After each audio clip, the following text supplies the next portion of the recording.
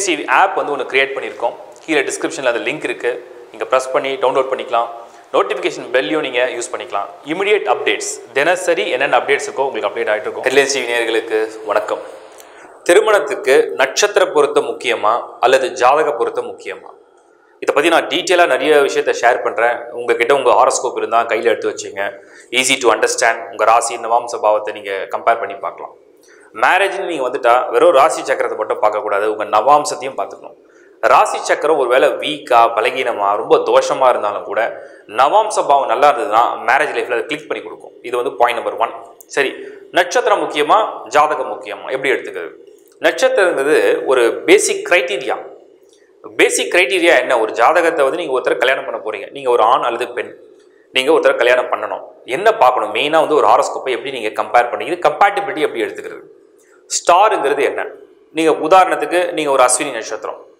அந்த நட்சத்திரத்துக்கு அதிபதி கேது. இந்த நட்சத்திரத்தில் நீங்கள் பிறந்தீங்க நீங்கள் ஒரு பெண் அப்படின்னு வச்சுப்போம்.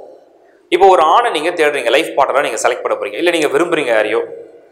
இப்போ இந்த கேதுவோடைய அஸ்வினி நட்சத்திரத்துக்கு நிறைய இருபத்தி ஏழு நட்சத்திரங்களில் நீங்கள் அஸ்வினி பேலன்ஸ் வந்து டுவெண்ட்டி சிக்ஸ் ஸ்டார்ஸ் இருக்குது இதில் சில நட்சத்திரங்களை செலக்ட் பண்ணும்போது அந்த கிரைட்டீரியா மேட்ச் ஆகும். அடிப்படையாக என்ன சொல்லப்படுதுன்னா எட்டு ராசிகளை கடந்து ஒரு ராசியை செலக்ட் பண்ணுறது நல்லது. ஃபார் எக்ஸாம்பிள் மேஷம் அஸ்வினின்னா தனுசில் வரக்கூடிய ராசியை மேட்ச் பண்ணலாம். அதில் பூராடம் உங்களுக்கு மேட்ச் ஆகும். இப்போ எப்படி இந்த மேட்சிங் ஆகாததை எடுத்துக்கிறோம். கேதுவுடைய நட்சத்திரம் அஸ்வினிக்கு அதே கேதுவுடைய நட்சத்திரமான மகம் மூலம் இதெல்லாம் மேட்ச் பண்ண மாட்டோம்.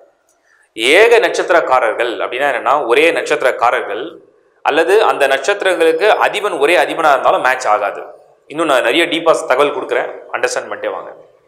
இப்போ ஸ்டார் மேட்சிங்கிறது சில சமயம் என்ன நடக்கும்னா அஸ்வினிக்கு ஒரு மகம் மேட்ச் ஆயிடுது. வேற வழி இல்லை பண்ணியாச்சு. தசா சந்தி வரும். எப்படி தசா சந்தி வரும்? ஒரே மாதிரி சுக்கர தசை நடக்கும்.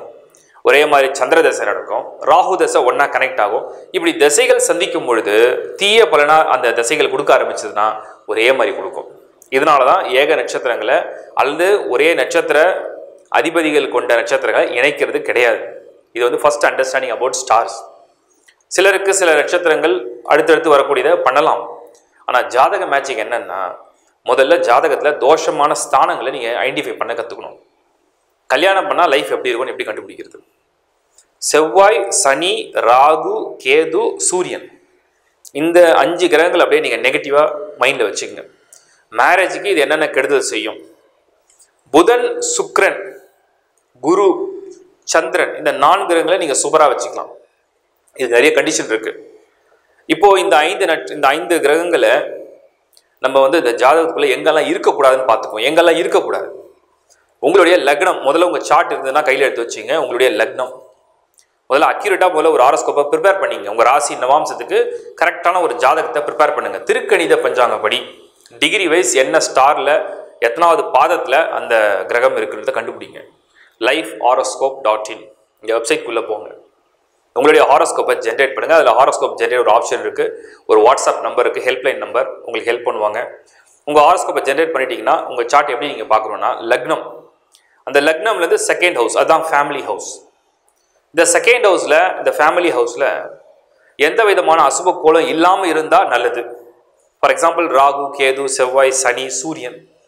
சில சமயத்தில் சூரியன் செகண்ட் ஹவுஸ் லார்டாக இருந்துட்டாருன்னா ஒன்றும் பண்ண முடியாது. அது இருந்தால் தப்பு இல்லை சில கேஸ்லாம் எக்ஸப்ஷன் அப்போது இந்த செவ்வாயும் சனியும் இருக்கு பாருங்க இதுதான் ரொம்ப முக்கியமான பவர்ஃபுல் கூட்டணி. ஃபர்ஸ்ட் ஹவுஸில் அதாவது லக்னாலேயே செவ்வாயும் சனியாக இருந்ததுன்னா சனி ஏழையும் பார்க்கும் செவ்வாய் ஏழையும் பார்க்கும் எட்டையும் பார்க்கும். ஒருவேளை அதே மாதிரி ஒரு ஜாதகத்துக்கு செகண்ட்ல கேது எயிட்ல ராகு வந்ததுன்னா இவங்களுக்கெல்லாம் மேரேஜில் பயங்கர தோஷம் பண்ணும். நிறைய பேருக்கு இந்த செவ்வாய் சனி கூட்டணி ஏழு எட்டு ரெண்டில் வரவங்களுக்கெல்லாம் பன்னெண்டு. டைவர்ஸில் கொண்டு போய் முடிக்குது. ஏன் விவாகரத்து ஆகுது? இதையும் நம்ம டீப்பாக பார்த்துருவோம். விவாகரத்துக்கு காரணம் மனம் ஒத்து போகாத விஷயம் மட்டும் கிடையாது. மனிதன் வந்து எல்லா நேரமும் உணர்ச்சி வசப்படுறது கிடையாது. சில நேரத்தில் சில வார்த்தைகளை சில விதமான அனுபவங்களை சில விதமான எதிர்பார்ப்புகளை புரிஞ்சிக்க முடியாத தன்னை மீறின ஒரு கோபம் வெறுப்பு வெறி கண்ட்ரோல் பண்ண முடியாத ஒரு இம்பேலன்சஸ் இதெல்லாம் இந்த கிரகங்கள் தூண்டிக்கிட்டே இருக்கும். இந்த ஃபர்ஸ்ட் ஹவுஸில் செவ்வாய் சனி இருந்ததுன்னா மைண்டை வந்து அந்த கண்ட்ரோல் வேறு மாதிரி நெகட்டிவ் ஃபோர்ஸ் கொடுக்கும். இப்போ செவ்வாயுடைய பார்வையும் சனியுடைய பார்வையும் உங்களுக்கு ஏழாவது வீட்லேயும் எட்டில் செவ்வாய் பார்வையோடு அங்கே ராகு பொசிஷன் ஆகிடுதுன்னா டெஃபினட்டாக இந்த நெகட்டிவான ஃபோர்ஸை வந்து அதிகப்படுத்தும். இதுதான் பெரிய தோஷம். சீக்கிரம் வந்து அந்த அந்த ஜாதகம் வந்து கன்ஃபார்மாக அது விவாகரத்தில் போய் முடியும் பிரிவை ஏற்படுத்துன்றதுக்கு இது ஒரு ப்ரூஃப் சிலருக்கு சுபர்களாலையும் கெடுதல் நடக்கும். எப்படின்னு பார்க்குறீங்களா எக்ஸாக்டாக ஏழில் போய் சுக்கரன் இருக்கும். இப்போ உதாரணத்துக்கு ஒரு ஒரு கடக லக்னம் எடுத்துப்போம். ஏழில் சுக்கரன். பெரும்பாலும் சுக்கரன் கூடயே புதன் டிராவல் பண்ணும். ஏழில் புதன். ஏழில் சுக்கரன் ஏழில் புதன். அந்த ஏழு கூடிய சனி பன்னெண்டில் போயிடும். அதாவது இப்போது கடகத்துக்கு பன்னெண்டுனா மிதுனம்ல.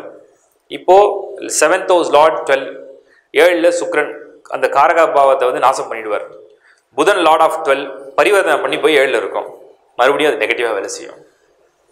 இது ஏழாம் பாவத்தை பொறுத்த வரைக்கும். சிலருக்கு என்ன நடக்குதுன்னா ராகு செவ்வாய் சனி மூன்று கிரகங்கள் ஒன்றா கூட்டணி வைத்து எட்டாம் இடத்துல இருக்கும். எட்டு ரெண்டில் வந்து கேது எட்டில் ராகு செவ்வாய் சனி மூணு கிரகமும் ஒன்றா இருக்கும். இவங்களெலாம் ஷுவராக அதாவது கடவுளாக வந்து ஆசீர்வாதம் பண்ணால் தான் உண்டு. இந்த எட்டாம் இடத்துல ராகு செவ்வாய் சனி எல்லாம் கிரக யுத்தம். போட்டு அந்த இடத்த வந்து ஒரு வழி பண்ணிடும். இதுவும் வந்து ஒரு நெகட்டிவான ஒரு ஃபோர்ஸ் இது சில பேருக்கு நோயாகவும் கொடுத்துருது. இப்போ திருமணத்தில் இன்னும் நீங்கள் கூர்ந்து கவனிக்க வேண்டியது பெரும்பாலும் அறுபது பர்சன்ட்லேருந்து எழுபது சதவிகிதம் eight seventy percent Rahu Ketu one and செவனில் இருக்கும். இல்லை டூ அண்ட் எயிட்டில் தான் பொசிஷன் ஆகும். So one and seven two and eight வந்து இப்போ நார்மல் காமன் காமனாக இந்தியன்ஸுக்கு வந்து சக்கரவதி வர மாதிரி இப்போ காமன் ராகு கேது வந்து ஒன் அண்ட் செவனில் இருக்குது டூ அண்ட் எயிட்டில் இருக்குது இப்போ இந்த மாதிரி இருந்தால் என்ன பண்ணணும்? அதே மாதிரி ராகு கேது இருந்தால் பெட்டர் எப்போவுமே ஒரு நெகட்டிவ் ஃபோர்ஸ்க்கு வந்து இன்னொரு நெகட்டிவ் ஃபோர்ஸ் வந்து கனெக்ட் பண்ணும்பொழுது ஈஸி இப்போ ராகு ரெண்டில் இருக்குது கேது எட்டில் இருக்குது அதே மாதிரி ராகு ரெண்டில் கேது எட்டில் இருந்ததுன்னா இந்த ரெண்டில் ராகுனா என்ன? ஓவர் எதிர்பார்ப்பு திரும்ப திரும்ப எதிர்பார்த்துட்டே இருக்கும். அதே ரெண்டில் ராகு தான் அதை கனெக்ட் பண்ண முடியும் மேட்ச் பண்ண முடியும். சில பேருக்கு லக்னம் பார்த்தீங்கன்னா பொருத்தமாக இருக்கும் ராசி பொருத்தமாக இருக்கும் நட்சத்திரம் பொருத்தமாக இருக்கும். ஆனால் லக்னத்தில் கரெக்டாக குரு இருப்பார் யாருக்காவது ஒருத்தர் அதே இன்னொரு லக்னத்துக்கு லக்னத்தில் சுக்கரன் இருப்பார். இப்போ குருவோ சுக்கரனும் பகை கிரகங்கள் ஆனால் சுபர்கள் ரெண்டு பேரும் நல்லவங்களா இருப்பாங்க. நிறைய பேர் சொல்லுவாங்க ரெண்டு பேரும் நல்லவங்க ஆனால் என்னமோ அவங்களுக்குள்ள ஒத்து போல அதுதான் லக்னத்தில் இருக்கிற கோல் வந்து ஒரு மனிதனுடைய தலையை ஆளுமை செய்யும். தலையை ஆளுமை செஞ்சால் அவங்களுடைய அறிவை ஆளுமை செய்யும். அவங்க அறிவை ஆளுமை செய்தால் அவங்களுடைய எண்ணங்களை கொடுக்கும். அப்போ ஒருத்தருக்கு குரு லக்னத்திலையும் ஒருத்தருக்கு சுக்கரன் லக்னத்தையும் இருக்கும் பொழுது திருமணம் செஞ்சாலும் இந்த பொருத்தம் ஏற்படாது. அது வசீகரம் கொடுக்காது. ஆரம்பத்தில் நல்லா இருக்கிற மாதிரி தெரியும் அப்புறம் பிரச்சனைகளை கொடுக்கும். இதே கேஸ் தான் சனிக்கும் நடக்கும்.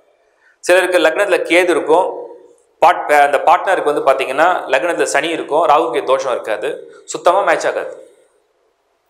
அப்போ மேட்சிங் நம்ம வந்து கம்பேட்டிபிலிட்டி பார்க்கும்பொழுது சிலருக்கு யாரை கல்யாணம் பண்ணாலும் மேட்ச் ஆகாது. ஏன்னா அவங்க ஜாதகமே அப்படி இருக்கும். சிலருக்கு யாரை கல்யாணம் பண்ணாலும் நல்ல மேட்ச் ஆகும். அவங்க எல்லாரையும் பேலன்ஸ் பண்ணி கொண்டு போகக்கூடிய ஒரு யோகம் பெற்ற ஒரு ஜாதகமாக இருக்கும். இதில் நவாம்சம் அடுத்த பார்ட்டு இப்போ ராசி சக்கரத்தில் கிரகங்கள்லாம் தோஷம் அடைஞ்சாச்சு. செகண்டு ஃபோர்த்தில் செவன் எயிட் டுவெல் அசுபர்களாக இருக்காங்க. ஏழில் செவ்வாய் இருக்குது பன்னெண்டில் சனி இருக்குது ரெண்டில் கேது இருக்குது எட்டில் ராகு இருக்குது ச ராசி சக்கரமே ரொம்ப வீக் மேரேஜுக்கு ஒன்றும் தகுதியே இல்லை. நவாம்சத்துக்கு வாங்க. நவாம்சம் செகண்ட் ஹவுஸ் செவன் எயிட் டுவெல்லாம் சுத்தமாக இருக்குது குரு பார்வை அம்சமாக இருக்குது ஏதாவது சுபகிரகம் வர்க்கோதம் அடைஞ்சிருக்கு. அப்போ அந்த ராசி சக்கரம் அப்படியே உங்களுக்கு வந்து சைலண்ட் ஆகும். அதாவது கல்யாணம் நடக்கிற வரைக்கும் தடங்களாக இருக்கும். கல்யாணம் நடந்த பிறகு யோகமாக கன்வெர்ட் பண்ணும். இதுதான் வந்து ராசி சக்கரத்துடைய தோஷத்துக்கும் நவாம்ச தோஷத்துக்கும் வித்தியாசம். உங்களுடைய ராசி சக்கரத்தில் கிரகங்கள்லாம் யோகமாக இருந்து நவாம்சத்தை தோஷம் அடைஞ்சுன்னு வச்சுங்க. பிஃபோர் மேரேஜ் கல்யாணம் சீக்கிரம் நடக்கும் நல்ல பொண்ணாக வரும். அல்லது நல்ல பையனாக உங்களுக்கு கிடைப்பாங்க. நல்ல கிராண்டாக கல்யாணம் நடக்கும். கல்யாணம் ஆன பிறகு ஒரே பிரச்சனையாக இருக்கும். இதில் ஒரு பேசிக் ஸ்டடிக்காக நான் சொல்கிறேன் ஆண் ஜாதகத்தில் சுக்கரன் கெட்டு போகக்கூடாது பெண் ஜாதகத்தில் செவ்வாய் கெட்டு போகக்கூடாது செவ்வாய் பெண் ஜாதகத்தில் கெட்டு போயிடுச்சுன்னா ஆணால் பெரிய சந்தோஷம் கிடைக்காது. சுக்கரன் ஆண் ஜாதகத்தில் கெட்டு போயிடுச்சுன்னா பெண்ணால் பெருசாக அவங்களுக்கு சந்தோஷம் கிடைக்காது. இது ஒரு அடிப்படையான அண்டர்ஸ்டாண்டிங் ஒரு ஜாதகத்தில் லக்னாதிபதி தனாதிபதி பஞ்சமாதிபதி கலஸ்திர ஸ்தானாதிபதி வலுவாக இருக்கணும். சில பேருக்கு இந்த ரெண்டு திருமணம் நடக்கும். அதாவது முதல் திருமணத்தை முறியடிச்சுட்டு ரெண்டாவது வரும். இப்போ லார்ட் ஆஃப் செவன் அண்ட் லெவனை நம்ம அங்கே தான் ஃபோக்கஸ் பண்ணி பார்க்க வேண்டியிருக்கும். ஏழு கூடையவனை விட பதினொன்று கூடையவன் வலுத்துட்டானா ரெண்டாவது கல்யாணத்துக்கு பிளான் பண்ணிக்கும்.